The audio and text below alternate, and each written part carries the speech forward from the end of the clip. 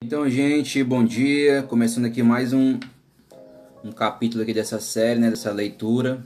O nome da série que é Dois Cap. O que, é que significa isso? Dois capítulos. É, o meu propósito é ler dois capítulos de Gênesis e dois capítulos, aliás, dois capítulos do Novo Testamento e dois capítulos do Antigo Testamento. Atualmente eu estou no, no livro de Gênesis e no Novo Testamento no Evangelho de Marcos.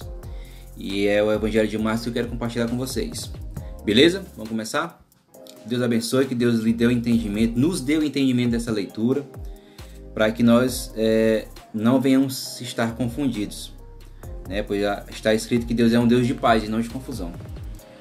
Fala aqui, Marcos capítulo 13, fala sobre os sinais dos, dos finais dos tempos. Né? Eu vou fazer aqui uma breve leitura para vocês, depois eu vou compartilhar aquilo que o Senhor revelou ao meu coração. Diz assim: Marcos 13, verso 1 em diante. E saindo ele do templo, disse-lhes: Disse-lhe um dos seus discípulos: Mestre, olha que pedras e que edifícios. E respondendo Jesus, disse-lhes: Vês estes grandes edifícios? Não ficará pedra sobre pedra que não seja derribada. E assentando-se ele no Monte das Oliveiras, defronte do templo, Pedro e Tiago e João e André lhe perguntaram em particular: Dize-nos quando serão estas coisas e que sinal haverá quando estas coisas estiverem para se cumprir. Jesus respondendo-lhes respondendo começou a dizer: Olhai que ninguém vos engane. Olha, olha o que Jesus Cristo tem para a gente aqui, ó. Ele tem uma advertência para a gente, né? Olha, vocês tomem cuidado, né? Porque ele vai continuar aqui, ó. Porque muitos virão em meu nome dizendo: Eu sou Cristo e enganarão a muitos. E quando ouvirdes de guerra e de rumores de guerras, não vos perturbeis, porque assim deve acontecer. Mas ainda não é o fim. Olha, gente, nós estamos no ano de 2022 e já já teve guerras, inclusive está tendo agora uma guerra aqui na Ucrânia, né? não sei nem como é que tá, não estou acompanhando no noticiário. É, mas enfim, Jesus diz que ainda não é o fim, é só o princípio das dores. E porque se levantará nação contra nação e reino contra reino, e haverá terremotos em diversos lugares, e haverá fomes e tribulações. Estas coisas são o princípio das dores. Gente, já começou, né? O princípio das dores é agora. Mas olhai por vós mesmos, porque vos entregarão aos concílios e às sinagogas e sereis açoitados. Ele vai falar, Jesus Cristo que ele está falando, para encurtar aqui a leitura, que vai chegar um tempo que as pessoas odiarão o evangelho. Odiarão aqueles que seguem a Cristo. Aí aqui ele vai declarar, ó, vocês vão ser açoitados, né, por amor de mim, vocês né, vão ser apresentados diante de pessoas importantes. E se vocês não negarem a sua fé de vocês, né, muitos de vocês vão morrer. Mas não se preocupe, quem perseverar até o fim será salvo. E ele vai falando mais, ó. Nós seremos odiados, né?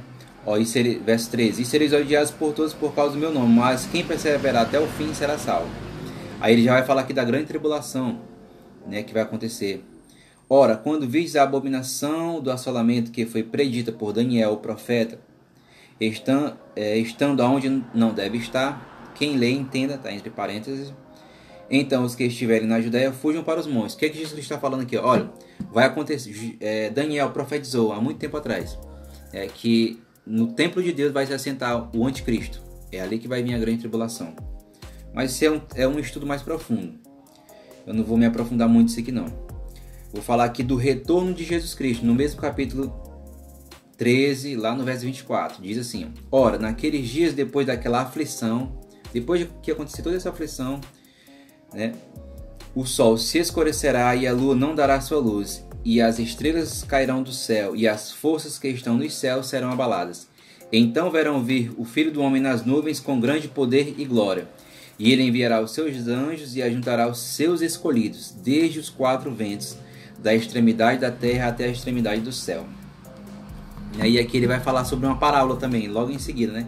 Aprendei, pois, a parábola da figueira, quando o seu ramo já estiver tenro, né?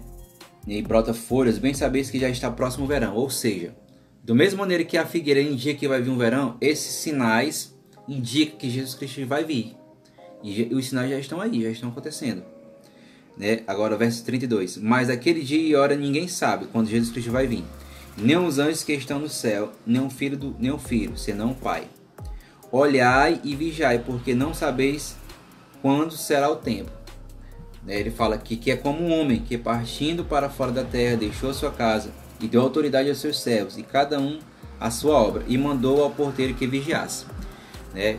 Quem é que trabalha em uma empresa sabe, né, que quando o dono não está, né, que, que até tem até dizer assim, né, que onde é, onde não tem onça, né, um, dizer popular, né, que o veado, né, o veado é aquele animal, né, faz a festa. É, o dono sai, mas ali ele tá ali, ele qualquer momento ele vai voltar, né? E quando ele encontra o servo ali desocupado, ele vai logicamente ele vai reclamar, rapaz, eu te deixei aqui para tu fazer o teu serviço, a tua obra, e tu não tá fazendo. Da mesma maneira o Senhor, né? Ele tá mandando a gente vigiar, ó, vocês fiquem preparados. Porque ele vai vir uma hora que ninguém sabe. Quando você que trabalha em empresa aí privada ou pública, sabe que quando aquele supervisor chega ou aquele seu chefe chega, né? Todo mundo já fica ligado ali. Opa, opa, o chefe chegou.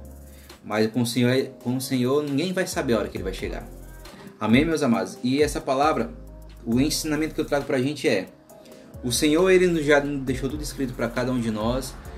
Ele já nos confiou uma obra para cada um em especial. Cada um tem o seu talento, cada um tem o seu dom.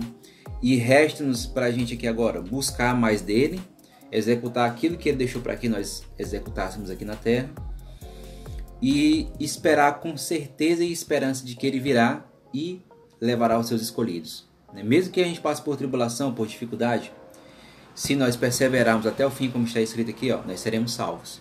Amém, meu amado? Que o Senhor continue ministrando ao teu coração. E fique comigo aí, ó. Curta, comente, compartilhe. Deixe seu comentário se você está gostando dessa série. E vamos que vamos. Partiu!